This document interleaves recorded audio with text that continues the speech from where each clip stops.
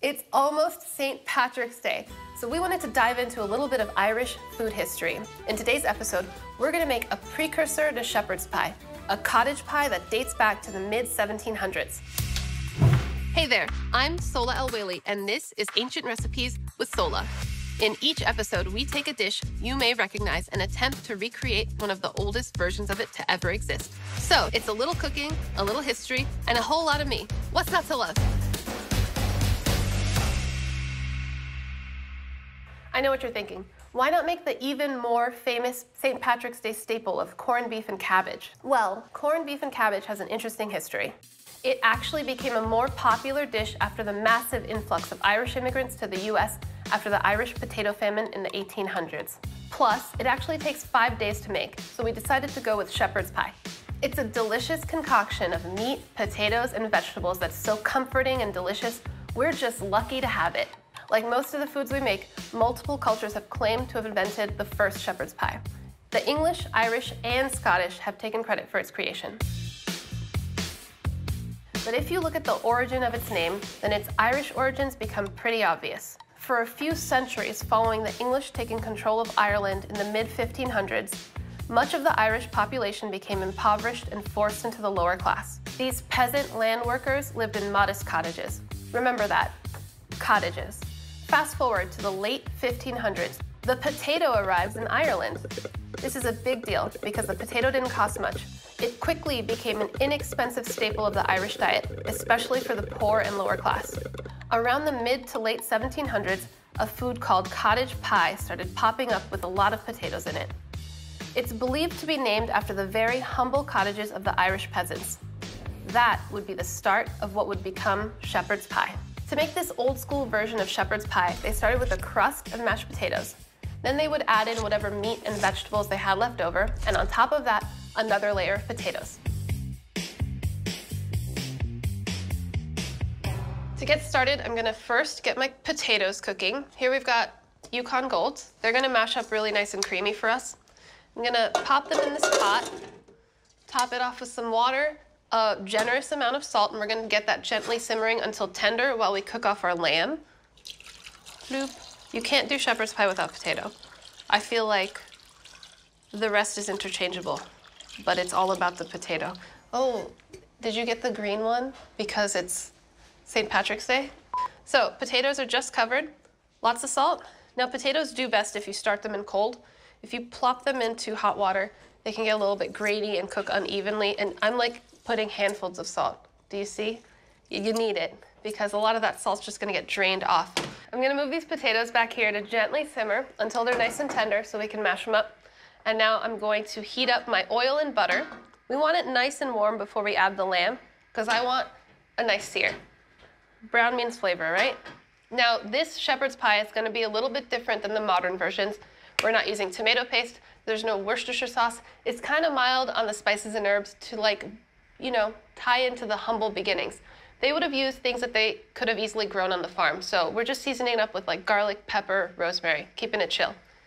Now you know when you use butter and oil, it's kind of nice because the butter gives you like a built-in thermometer. Once it's foaming, you know that your pan is hot. We're almost at foamage, so close.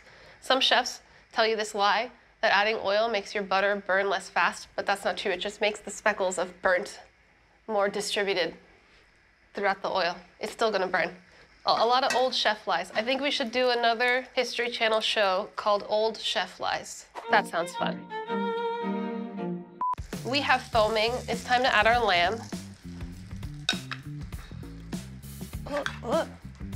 Plop it in gently. See that sizzle? That's how you know your pan was hot.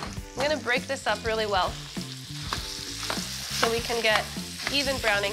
After breaking it up, I kind of let it just hang out so we can get some color before messing around too much.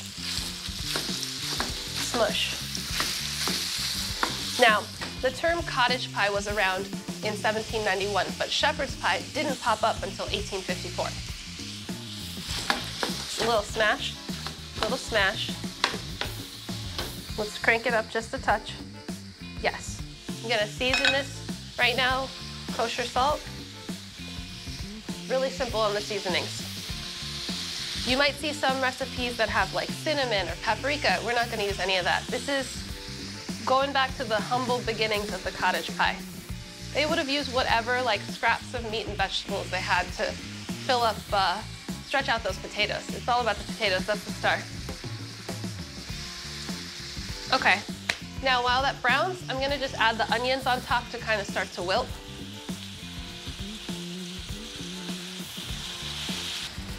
So everyone kind of makes shepherd's pie their own way. It varies home to home, but it was so revered in the 1700s that people took a lot of joy in trying each other's shepherd's pie.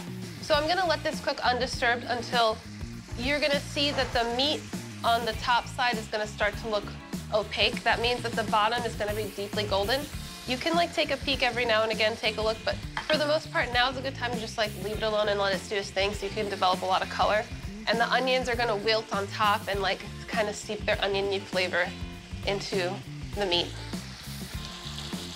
You can see it's getting more and more opaque. Now's a good time to take a peek. Let's see what the other side's looking like. We got a little bit of browning. Not much browning. It's not as brown as I'd like. Let's like blast it. See how much this can handle.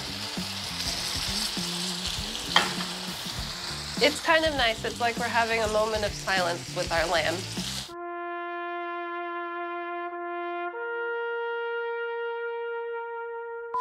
Now, we didn't start with a whole lot of fat in the pan, but depending on the kind of ground meat you have, sometimes it releases a lot of fat.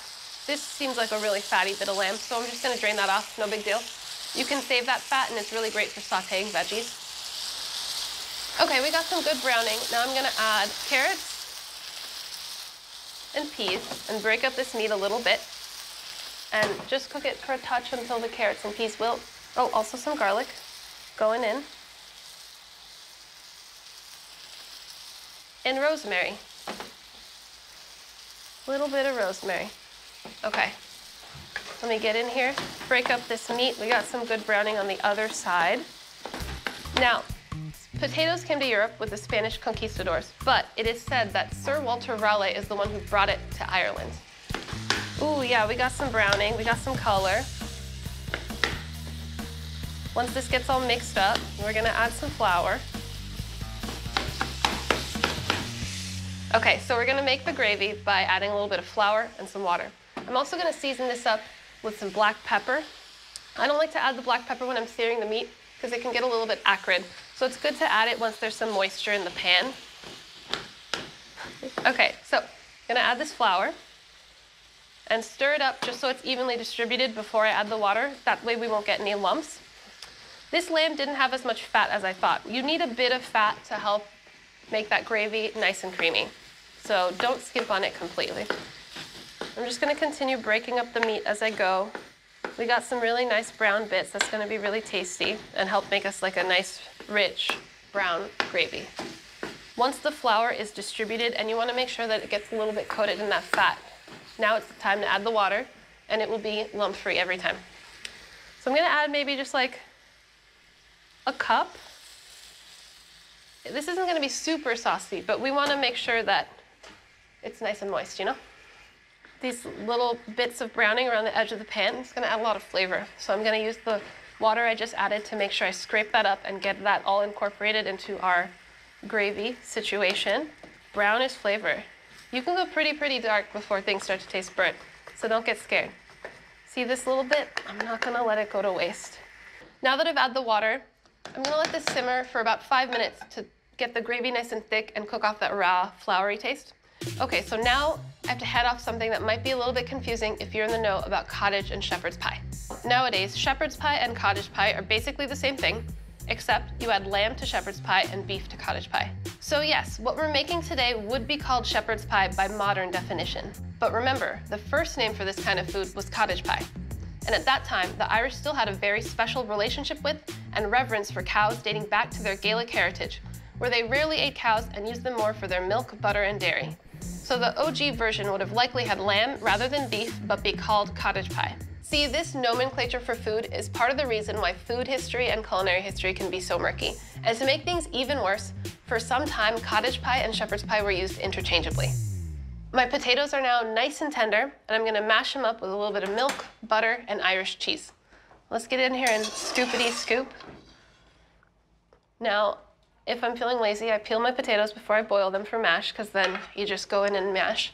But if I'm not feeling lazy, I peel them, I cook them with the skin on, slowly roasted in the oven, and then they taste really, really potatoy. But it takes a long time, and then you gotta peel them after while they're hot. You know, just go with what you're feeling that day. You know, sometimes you wanna be extra, roast your potatoes dry with the skin on, and other days you just need to eat shepherd's pie now. I think it's all good. Okay, smush time begins. So to here, I'm gonna add some butter.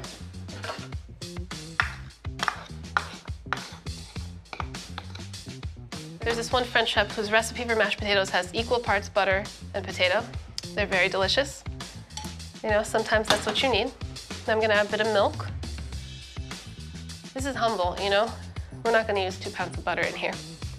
I'm gonna get it going with some salt and pepper before I add the cheese. We're also gonna add an egg yolk and that's gonna help the top get really nice and golden brown. There's already a lot of salt in that water and there's salt in the cheese, so I'm not going crazy at this point. We smush.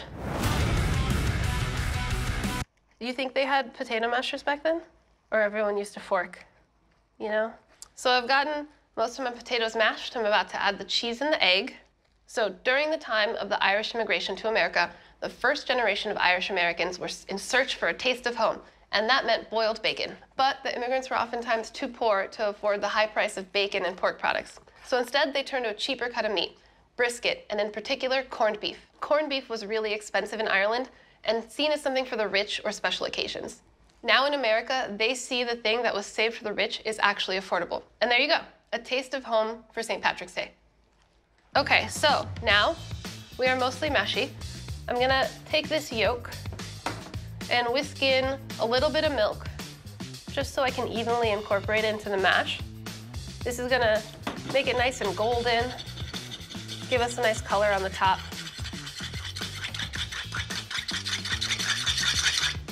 And we're gonna add our Irish cheese, which is gonna help us get like a little gratiné vibe on top too. It's also gonna add like this nice sharpness that I think will balance out all the rich stuff we have happening. This alone, I mean, you can just eat this and be good. We're gonna layer this and turn it into a pie. Now it's cool, as soon as you add the egg, it looks really nice and rich. A lot of good color from that yolk. Folding this up. We don't have to worry about the cheese totally melting now because it's gonna melt in the oven. And now we're gonna layer potato, our meat mixture, and then more potato to make our pie. So I'm gonna kinda eyeball half this potato mixture to line the bottom of the pan. That's gonna be our base crust of potato. I mean, I think that anything wrapped in potato will be good, right? Why not? I'd love a salad that had a bottom and top layer of potato, right? Okay, now we're gonna add our filling on top.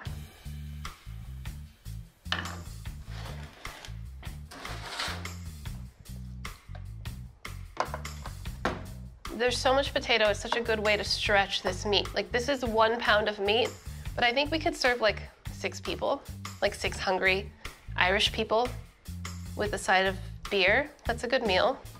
So I don't wanna like mess up my bottom layer, so I'm just taking a spoonful at a time. I think that the potato is also gonna keep the meat from like getting dried out or scorched. Like this pan is gonna retain a lot of heat. And I imagine if we put the meat directly at the bottom of the pan, we might have a little bit of like overcooking happening, you know? We're gonna keep it nice and saucy this way. Okay. Scrape it all in there. And we're gonna top it with a final layer of potatoes. This is gonna go in the oven to bake until it's like really golden and bubbly, and then we're gonna dig in. Potato, potato. So there's a new kind of shepherd's pie that's popping up that's getting more and more popular, and it's meatless. It doesn't have an official name, but some people call it shepherdless pie or gardener's pie. And it's got different things in there like lentils, veggies, I bet you could also do it with like, just crumble some tofu, brown it just like you brown meat. It's really tasty. I do that a lot. No one can tell the difference. I've fooled my friends with tofu ground meat. Okay, now I just did a little dollop dollop situation before smushing just so I can spread a little bit more easily without, you know, getting some of that meat on the top layer.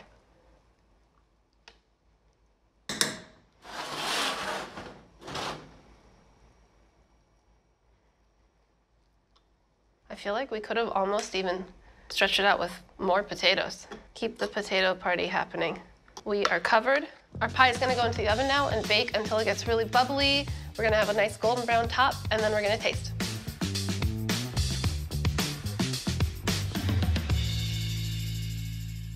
This smells really good. I'm really excited to dig in. The cheese and the potatoes gave it such a little crunchy brown crust. I'm going in. I love the little crunchy edges. I want a corner piece. I'm a corner piece kind of person. All right, let's see how you are on the inside. Ooh, steamy, saucy. All right, I'm getting, I'm going in. Time for a bite. I got a little potato, I got a little meat, I got a little veg. Mmm.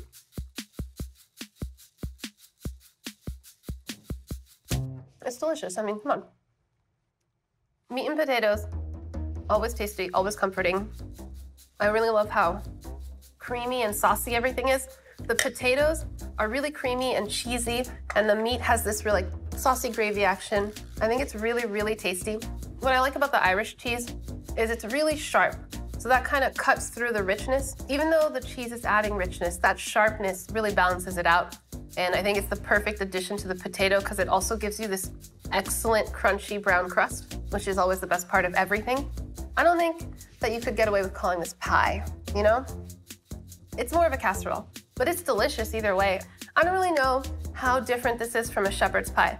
It kind of tastes exactly the same. I mean, the only difference is the beef versus the lamb. You can't really go wrong when it's meat, potatoes, and cheese. I could eat this on like a cold day, you know, on a cold day when you've been out, you know, digging up potatoes, come home, make a shepherd's pie. It's gonna always hit hard, you know what I mean? I love it. It's like a stick to your ribs kind of thing. I think this is super delicious. And I'm happy to have learned so much more about Irish food history. I think it would be really good with, with a cold mug of Guinness and maybe a couple of shots of Irish whiskey. You can handle it. This will give you solid lining in your stomach so you're prepared. If you like this episode, be sure to like and subscribe. And if there's any ancient or vintage recipe you want to see me try out, let us know in the comments and I'll see you next time.